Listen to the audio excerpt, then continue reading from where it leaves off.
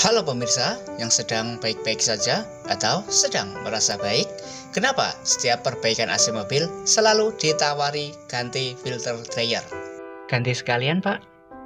Kenapa harus diganti? Dan bagaimana bila tidak diganti filter dryer tersebut? Biar nggak penasaran, mari kita cari tahu jawaban bersama-sama.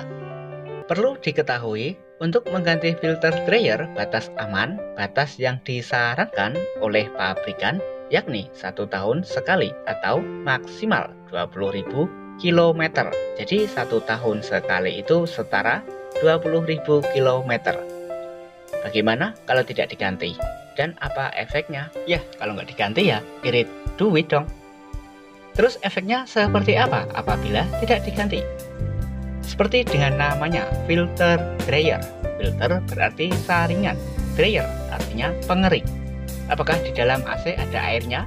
Nah, mari kita ke pembahasan yang lebih serius. Lah, memang tadi nggak serius.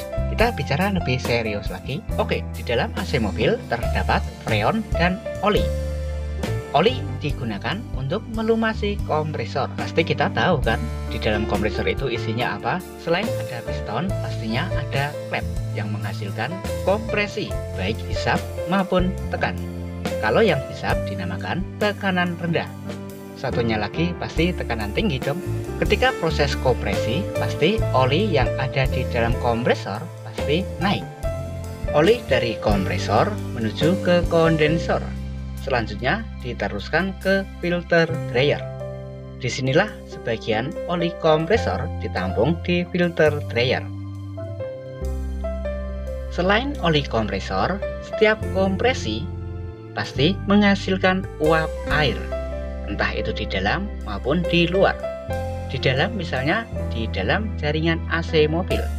Kalau di luar kita bisa melihat pada kompresor angin.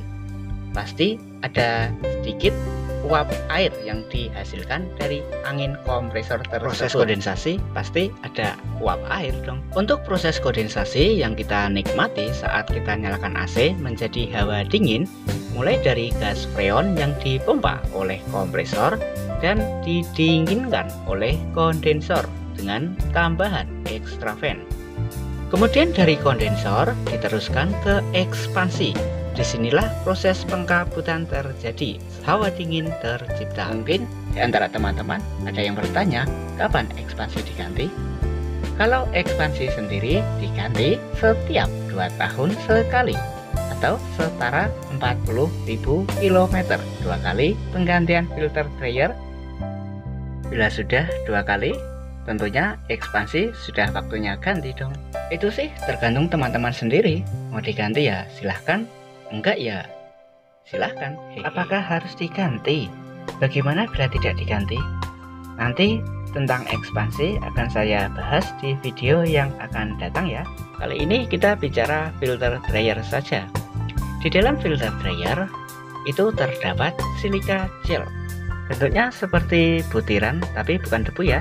Lebih tepat lagi seperti merica. Bila Anda penasaran isi filter dryer itu seperti apa, Anda bisa melihatnya di video. Klik pada pojok kanan atas.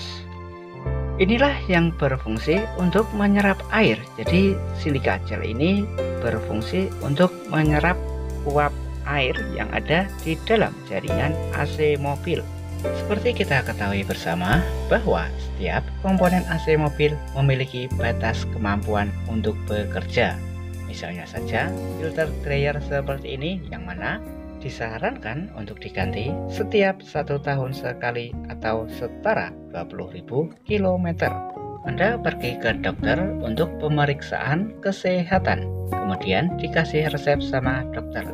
Tentu Anda lakukan sesuai dengan resepnya.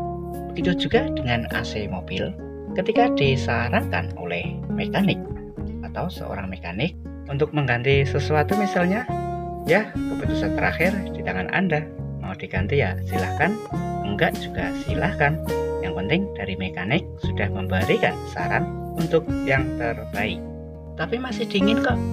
Iya, terakhir terserah Anda. Mau diganti ya silahkan. Oke, terima kasih sudah menonton video ini. Silahkan subscribe jika video ini bermanfaat. Sampai berjumpa di video selanjutnya.